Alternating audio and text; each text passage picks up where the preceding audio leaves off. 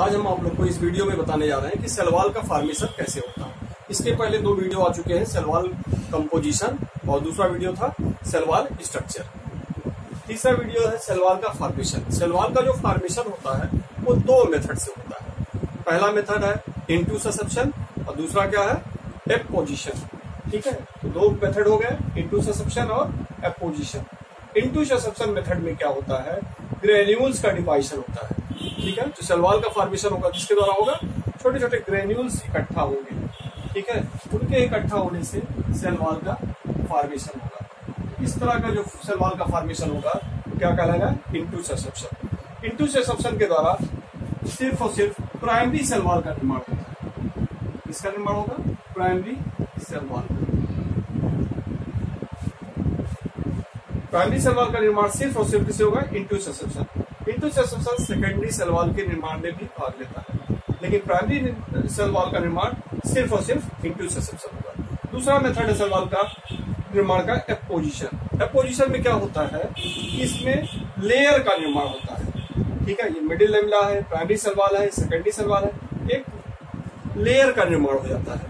ठीक है? तो जब लेयर का फॉर्मेशन होकर सेल का निर्माण होता है तो इसे क्या कहते हैं? एपोजिशन एपोजिशन के द्वारा सेकेंडरी सेल वॉल का निर्माण होता है। तो इस प्रकार हम देखते हैं सेकेंडरी सेल वॉल का निर्माण एपोजिशन और इंटूसेप्शन दोनों के द्वारा होता है।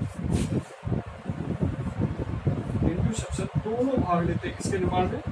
सेकेंडरी सेल वॉल के निर्माण ठीक है?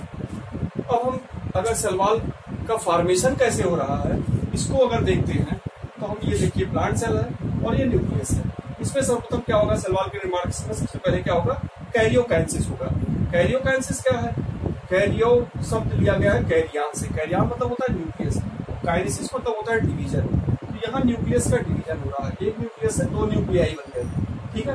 न्यूक्लियाई बनने के बाद अब क्या होगा? इक्वेटोरियल प्लेन जो होता है बीचों बीच का जो क्षेत्र है, वो क्या कहलाएगा? Equatorial plane. इक्वेटोरियल प्लेन पे आगे चलकर गालजीवाड़ी गालजी वेस्किल जो गालजीवाड़ी के वेस्किल होते हैं वो इंजो इंडोप्लाज्मिक रेटिकुलम और स्पेंडल फाइबर आके कलेक्ट होते हैं। इन सबको मिला के हम क्या कहते हैं? फ्लैंगोप्लास्ट और हम देखते हैं सेलवाल का जो फॉर्मेशन होता है वो जनरली किस फ़ेज़ में होता है? एना फ़ेज़ में ठीक है?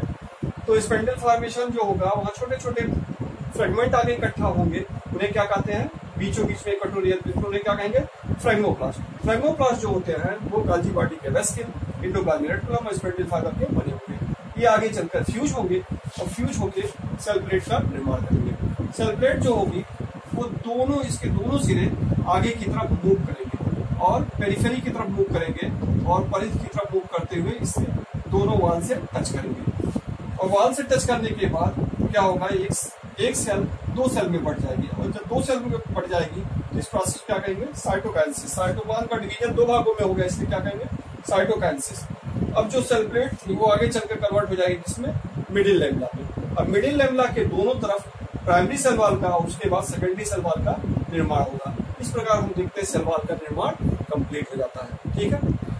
हम ये भी देख रहे हैं प्लांट सेल में कैविटी पाई जाती है। प्लांट सेल में क्या पाई जाती है? कैविटी पाई जाती है। प्लांट सेल में कैविटी पाई जाती है, वो तीन प्रकार की होती है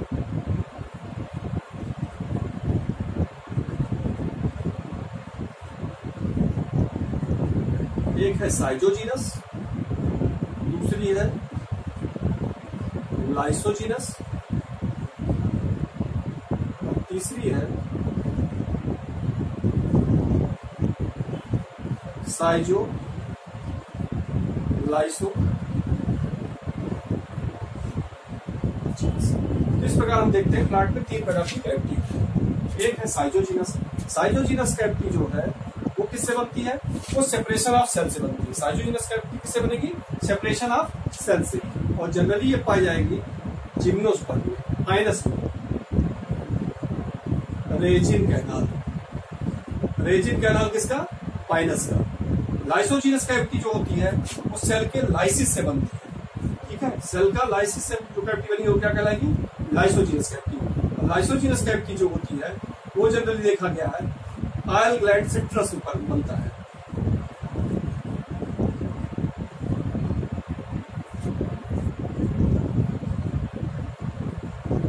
सिट्रस में जो आयल ग्लैंड पाया जाते हैं उसका निर्माण कैसे होगा?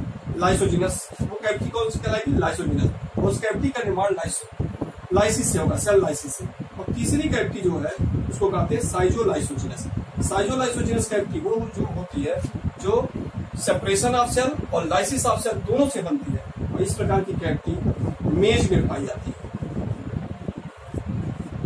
इस प्रकार हम कैविटी को देखिए ठीक है। और लास्ट पॉइंट जो सेल वाल पे देखते हैं, वो है सेल वाल के फ़ंक्शन सेल वाल का मेन फ़ंक्शन क्या है?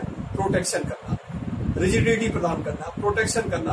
और तीसरा क्या है? Apoplastic movement of water and mineral ठीक है? एपोप्लास्टिक मूवमेंट जो वाटर का होता है, वो भी किसके द्वारा होता है? सेल वाल के द्वारा। ठीक है? तो ये आज कंप्लीट हो गया सेल वाल का वीडियो